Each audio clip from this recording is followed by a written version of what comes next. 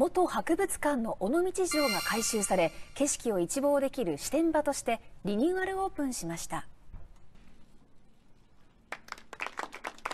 ありがとうございました。今日から一般開放された千光寺公園支店場です。2階展望デッキの広さはおよそ80平方メートル。ベンチが設けられていて24時間無料で利用できます公園の西側にある支店場の建物はおよそ60年前に地元の人が作った4階建ての元博物館尾道城です。老朽化などを理由に閉鎖していました。尾道市が所有者から譲り受けて2年前に着工。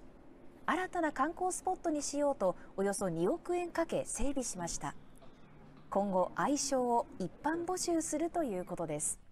千光寺公園では29日に新しい展望台も一般開放されます。